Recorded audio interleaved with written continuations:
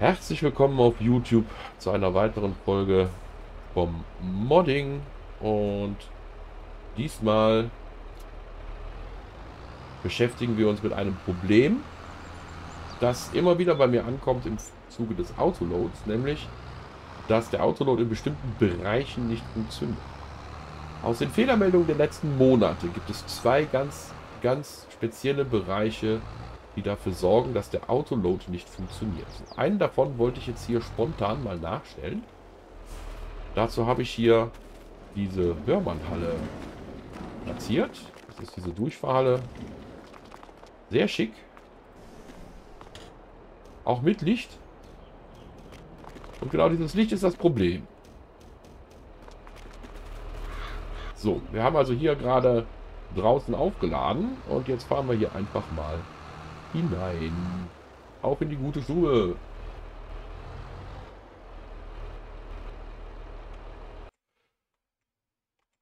Namens Psycho Becker. So, wir laden ab. Wunderbar, es werden 10 angezeigt. Ich drücke jetzt B zum Aufladen. Null. Kann drücken, wie ich will. Der geht direkt wieder aus und zeigt mir maximal zu laden. Null. Das ist die Fehlermeldung, die ich bekomme. Und dann heißt es dann, der Autoloader ist kaputt, der Autoloader ist kaputt. Nein, die Halle ist scheiße. Ja, ich weiß, ist eine... Ist eine... Äh, ist eine Vanilla-Halle. So, kommen wir erstmal zum Problem. Was, was sind die Probleme dieser Halle? Ne? Identifiziert habe ich das natürlich nicht, indem ich äh, mir im bei Giants eine Halle rausgesucht habe, die nicht funktioniert, sondern ich habe das mit anderen Mods gehabt, habe dann was gemacht, um das zu beheben und habe dann festgestellt, oh oh, das Problem haben auch schon Vanilla-Hallen. Und das zeige ich euch jetzt.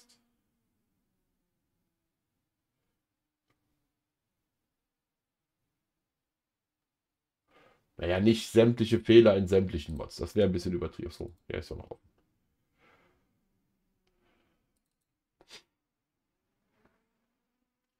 Also sämtliche Fehler in sämtlichen Mods, das wäre ein bisschen übertrieben.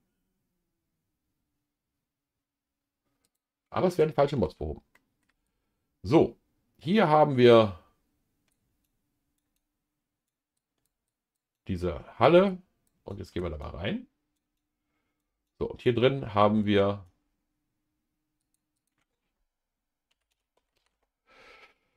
den Lichttrigger. Dieser Trigger ist der Trigger, der dafür sorgt, dass ich, egal wo ich in der Halle bin, mit R das Licht einschalten kann. Und jetzt kommen wir dazu, was ist der Fehler? Wir machen uns hier mal kurz sichtbar, damit wir sehen, wie groß der ist. Hier sehen wir ihn kurz rausgucken. Ansonsten geht er, wir sehen die andere Seite nicht, also er geht bis, genau bis in die Wand. Da ist er. Dieser kleine grüne Streifen bis in die Wand. Das heißt also tatsächlich überall. Aber was ist das Problem dieses Triggers? Das Problem dieses Triggers ist, er hat Einstellungen, die er nicht haben sollte. Nämlich, er ist Kinematic und er ist Compound. Ne? Wenn ich den jetzt hier auf Static umstelle, weil er bewegt sich ja nicht, ne? dann kriege ich direkt schon die Fehlermeldung, dass das keine richtigen Einstellungen sind, weil ein Static kann nicht Compound sein. Ja, weil ein Compound ist das Basis, ist das Basiselement eines Fahrzeugs zum Beispiel. Ne? Und alles andere, was drin ist, ist ein Compound Child. Das Ding hat aber gar keine Childs und ist auch nichts, was sich bewegt. Also kommt hier auch das Compound weg. So, wenn ich das jetzt abspeichere, kann ich in dieser Halle im Autoload arbeiten. Und das habe ich in den letzten Monaten bei so vielen Mods behoben, die ich selber nutzen wollte. Und in so vielen Leuten diese Fragen beantwortet, dass ich gesagt habe, vielleicht sollten wir das mal anders herum angehen. Ne? Nämlich nicht das so rum, ja, sondern eben einfach anders herum. So, wie können wir das anders herum angehen? Ganz einfach. Ich habe hier ein Skript geschrieben, das in den Autoload integriert wird.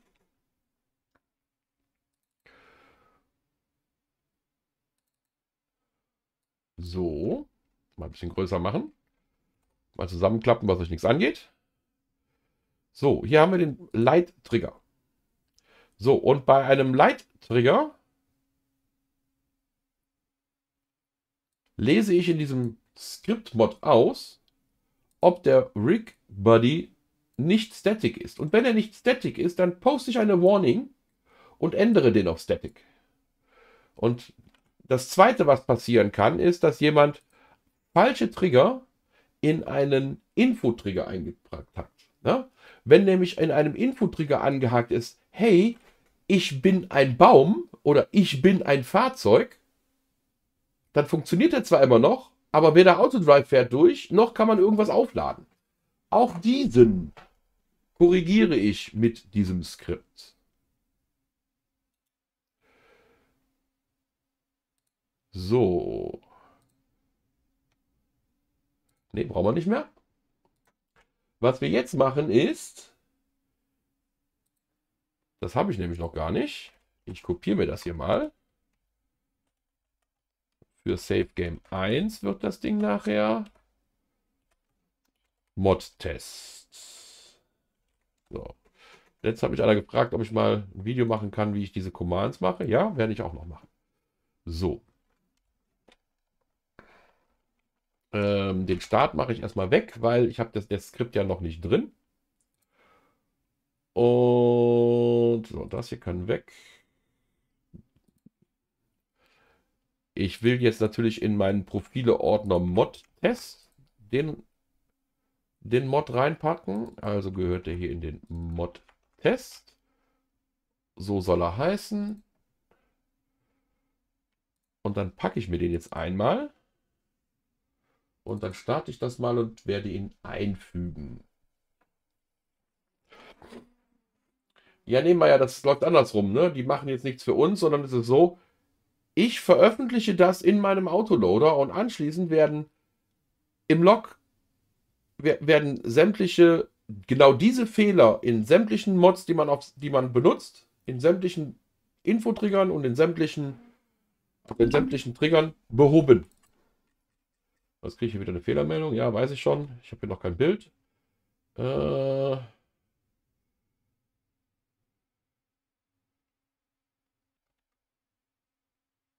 Wo ist mein Private?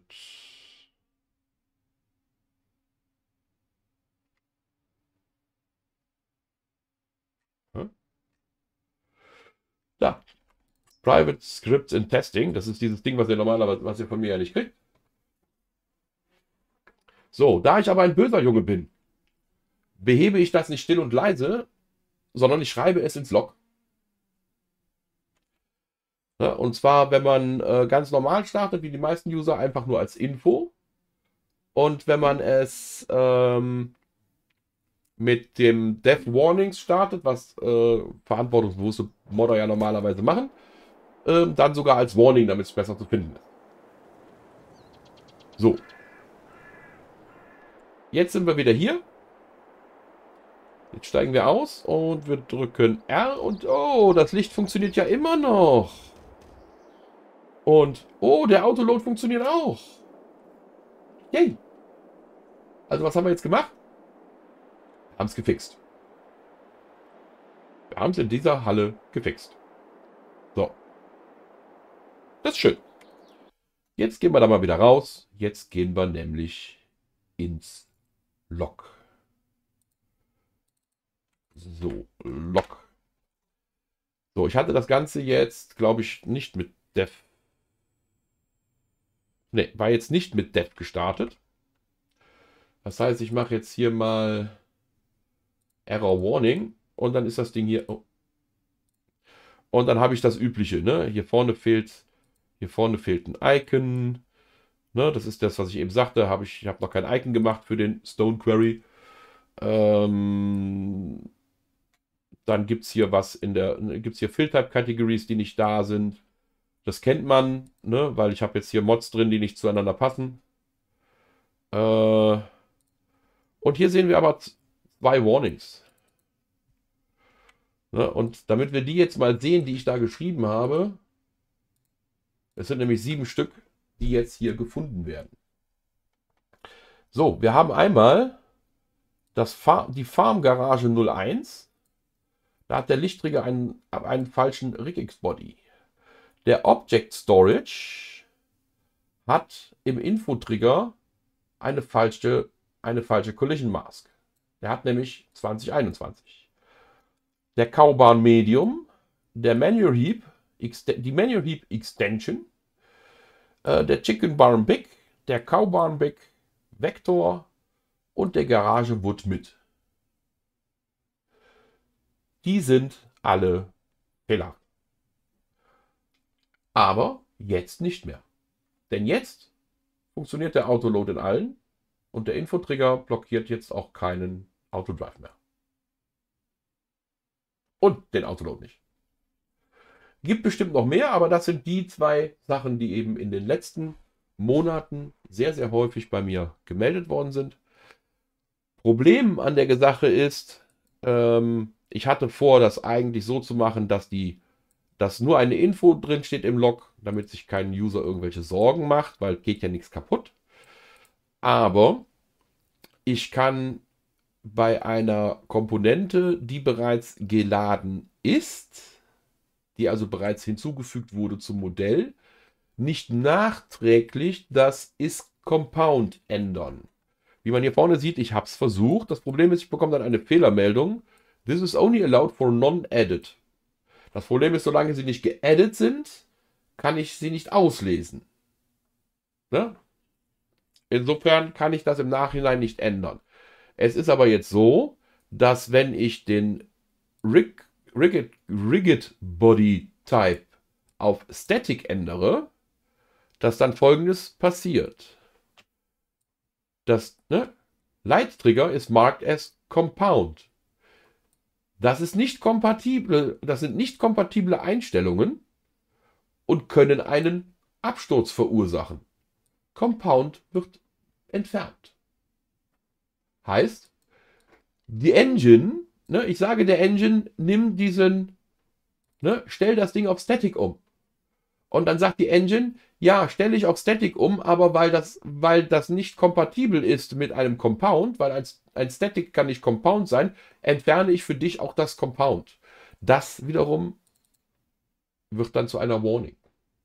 Und dagegen kann ich leider nichts machen.